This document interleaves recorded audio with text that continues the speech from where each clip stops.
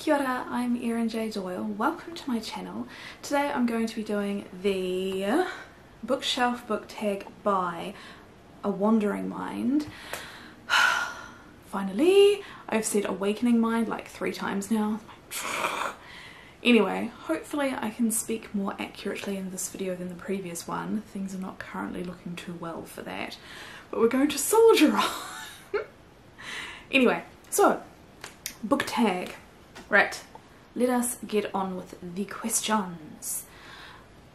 I may change the angle that the camera's at. We'll see how we go. Okay, actually, yeah, I think that's the first thing I'm going to do because obviously these are just some of the books. I don't think you've seen the rest of them.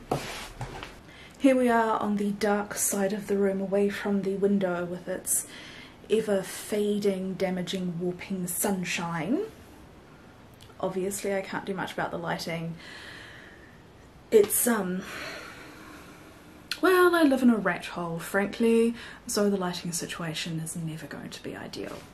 So I have a a light that I can adjust a little bit, but um, about the most I can do is make myself look slightly less ill. Anyway, let's carry on. We don't need to hear about that. Right, question one. How many bookshelves do you have? So I've got one, two, three, four, five, six, seven, eight, nine, ten, eleven bookcases. How many books are on your bookshelves? Or how many books you think you have?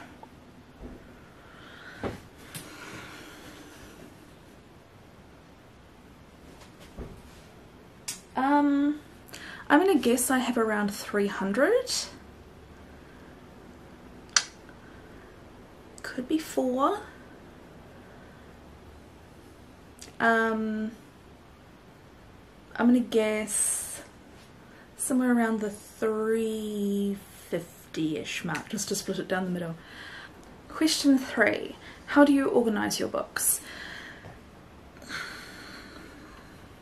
Okay, so kind of by genre and then also the books that I like the most go higher up and the books that I'm less impressed with go further down because if I love it then I want to see it.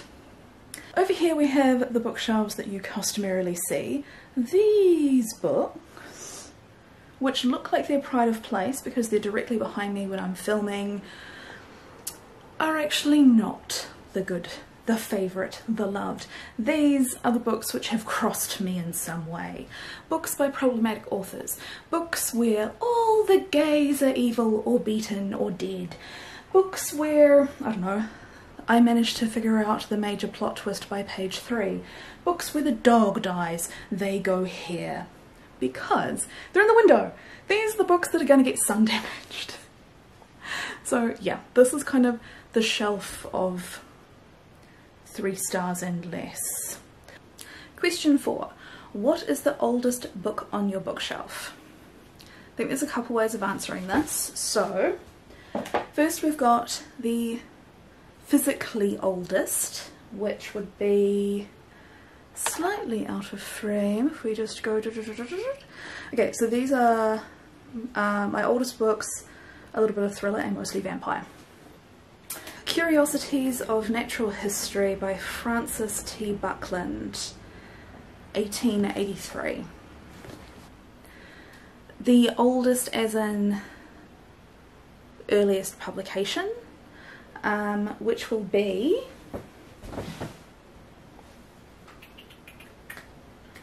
I know you're down here somewhere.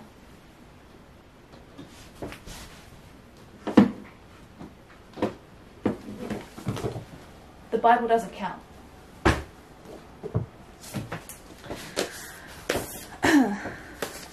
the Art of War. It's significantly more than a thousand years old. I'm sure. I will find out on Goodreads. It's this old. And then the third way I think we can answer this question, the book that I personally have owned the longest. Brer Rabbit. I did an unhaul of children's books a few years ago and gave the vast majority of my surviving children's books to a friend's offspring. Um, this one survived. This was my first birthday present, so this is 36 years old. Well, I've had it for 36 years. Question 5. What is the newest book on your bookshelf? So I went book shopping yesterday. My most recent acquisition is three books. So I have Cinderella is Dead, which I ordered for my LGBT plus reading the last month. Only just arrived in the bookstore. I've mentioned that previously, moving on. Um, then I've got Little Eyes, which is like the teeniest, tiniest title. Um, like you kind of have to look at it for a second to find it. And it's just, it's weird looking. And then I got the Midnight Library. Um, I do not consider the purchase of these to be in violation of my no book buying years. I was going to say year, but it's actually several years now. Um, because gift voucher. Question 6. What is the longest book on your bookshelf? Excluding textbooks, obviously. Um, the winner at 812 pages Varney the Vampire. I think I gave this like two stars, maybe even one. Really don't recommend. Question seven. What is the shortest book on your bookshelf? Okay. I have no idea. So these are the thinnest, but these are hardbacks. So let's see.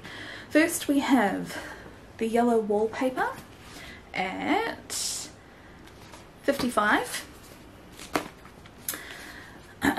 Travels in the Land of Serpents and Pearls at 56. Okay, that's out of the running. Buddhism for Bears. I don't know if this one even counts. I mean, it's kind of pictures, but never mind. Oh, we're in the 70s. Nope. Warning, when I am an old woman, I shall wear purple. This one might just win because it's a poem, so of course it's going to be very short. Okay, it lacks page numbers. I'm not going to count it, it's out. And finally, Goblins. Which is at... Also no page numbers, to hell with it. Our winner is the yellow wallpaper. Question 7. What is the predominant genre on your bookshelf? fantasy. I'm fairly confident of this because these, what are we, five bookcases are fantasy except for the top row and I think this section here. So this is all sci-fi fantasy, which I think probably outnumbers all the other books quite comfortably. And I would say that fantasy is slightly more abundant than the sci-fi within that but there are also books which kind of bridge the two genres. So if we kind of group them sci-fi fantasy, then yeah, almost five bookcases worth. Obvious winner. Question number nine. Have you done a bookshelf tour? No. Question 10. Go on a random number generator and talk about the book that corresponds with that number. Okay. Um, I don't know how many books I have, so I can't just generate a number between one and whatever it is. So what I'm going to do is go random number for bookcase, and then another for shelf, and then book within shelf. So I'm going to start numbering from off camera at number one, and then around this way. Okay, so let's go. Random number generator. So I want between 1 and 11. 4. Let's go bookcase number 4. Um, which would be one, two, three, four.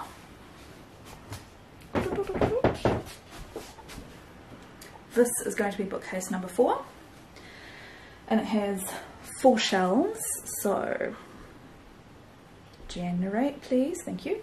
Okay, number two one, two, three, four, five, six, seven, eight, nine, ten books, all of the same series, so this is going to be weird.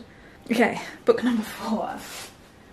Book number four is Acorna's Search, continuing the amazing adventures of the Unicorn Girl. Um, I can't remember what this one specifically is about. This series is about um,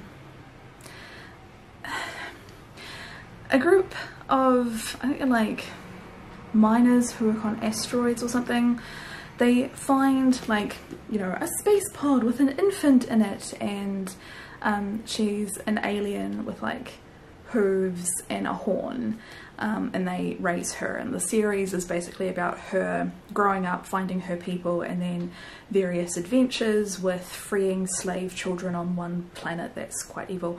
Um, finding her family the other alien race which caused the various events which led to her family releasing her out into the universe, blah blah blah. This one is getting into the origins of her people. Really quite hard to talk about it at any length without spoilers of doom. Um, but yeah, basically space unicorn people and um, the discovery of how they came to exist. That's all I can remember. I have read the entirety of the series and the trilogy which followed on from it, so I did really enjoy it, but it has been a few years. I see I forgot to cut out the emergency evacuation procedures on my front door. Question 11. Do you have fan merch or any other decorations on your bookshelf? I'm going to combine this question with number 12, which is show us your bookshelf. So I'm going to take the camera off the tripod and um, probably breathe loudly into the microphone as I show you my bookshelves a little bit more up close. Starting at bookshelf one, you've all seen it. There's my initials, there's my teapot, there's a fascinator, there's All Might, and there are the books which have displeased me in one way or another. The ending has been predictable, the language has been annoying, the villain didn't get his comeuppance, the dog died, the author turned out to be a monster, etc. Right, then we have a shelf that's almost purely decoration, with some journals, some poetry, and Toga from My Hero Academia. Speaking of which, then we have a shelf of My Hero Academia manga with, um, this is a thing one of my friends gave me when I graduated from my masters. Then we have, um, what is this? Non-fiction and this. Um, so I can't remember what her name is in Japanese, but apparently it roughly translates to Miss Pussy. She is a vulva. She um, lives underneath a woman's dress and she decides one day to go out and see the world for herself and she doesn't understand why people won't say her name. Then we have the shelf that you never get to see because it's directly behind my head because this is reflective and it's not actually a good look in videos. And then we've got Spanish books and stuff. The previous mentioned one attempt at being aesthetic green shelf featuring Random Turtle, Junk, Graduation Teddy. This is just a little random jar of beads with a, focus, come on, a um, wooden sphere that my father made which gets pushed quite far back so it's protected from the sun because the different pieces of wood will become unlaminated if it gets overly heated. And then we have art supplies, we have stuff, we have books I've unhauled, we have bubble wrap, we have a hairdryer, we have tea cozies, moving on. Bookcase number three, which is also right inside the front door and so is also a depository of crud. Um, no ornaments, moving on. Next bookcase we have the uh, most commonly worn jewellery, work keys, sunglasses, things that I need at the front door. And then some books. These books are all greatly enjoyed. Some of them I just can't really pick the genre. All of them I want near eye level. Then we have A Snowman, who is also one of my father's works. He hasn't made another one. It doesn't fit in with any of his other work. I love it dearly. Right. Going down, we have sci-fi featuring more random jewellery as well as a collection of thunder eggs from a mine in Australia. Uh, next up we have sci-fi featuring a tiny Care Bear. Sci-fi moving towards fantasy featuring Hooker. The first thing I ever saved up and purchased with my pocket money as a very young child. Next we've got a stone from Pompeii. It looks like it's not going to be in focus, my camera's just not liking it. Um, so the red and white, reddish and white material looks like volcanic rock, but if you turn it over, it's got this grey colour. So, yes, it looks like volcanic material, but when you put a little bit of acid on it, this fizzes, which tells you that it has a high amount of, oh, having to remember back several years, um, calcite in it, which means that this is actually a piece of limestone. So I think what this is, is a piece of limestone, which would be the country rock in that area, that's been splashed with volcanic material when um, the eruption occurred, I think. Then we've got more fantasy with a little um, mustard pot, I gather is what this is supposed to be, with its little spoon. Um, and a little ceramic owl reading a medical textbook. I don't think this will focus.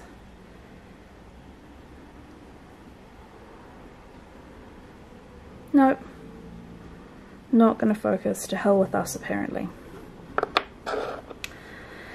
Then we have a mug with crud, random jewellery, Next up we have Aikido, she is a lioness and according to one of my sisters she is my totem animal.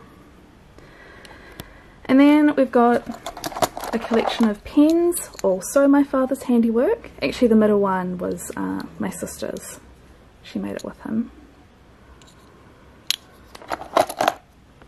Uninteresting. Then we've got the not bookshelf that contains Royal Albert. Okay, now we're getting into my TBR shelf. So we've got my expired passport, didn't see any point in renewing it. This is actually a map of the Camino de Santiago, which I've yet to frame. Um, thingy medal from a race last year. Um, this is difficult to open with one hand, hang on. This is Family Crest, also out of focus. Focusing on little things is apparently not my camera's uh, favourite activity. Random junk. Um, and this um, contains a, I would estimate roughly 100 year old, 130 maybe, uh, pocket watch, which I never wear even though it's neat. Then we've got um, junk. This is actually various knickknacks. Not going to open it because, oh maybe I will. So in here we've got um, a watch and a seashell and my high school ID cards. And this is just some paintbrushes and some napkins that I use for painting. This is actually a pen. Um, then we go down, we've got some more thunder eggs, also out of focus. Who needs to focus? Um, this is a monster wearing a cactus costume to protect it from the terrifying scary world. I have a pink one as well, which lives at work and is my PCR idol. I have written a poem about it. You can, I think, access it via my website if you're interested. And this is a piece of, a lid of a jar that I'll show you in a minute. Random thing with money in it. More junk. Okay, last bookcases. assorted crap, a sand dollar, which can live here now, I think, and more junk, and that is the end. That's the end of the tag. Hopefully I can put my colossal amount of footage into some kind of sensible, pretty order. We'll see. Hopefully there's not too much garbage obscuring the views of my books if you were here only for the book aesthetics. If you enjoyed this video, give it a like. If you're new here, hit subscribe. Do all of the things. They really help me out. And I'll see you next time. Bye! Move the light. Oh my fucking god, this is awkward. Trying not to ruin everything I own. Okay.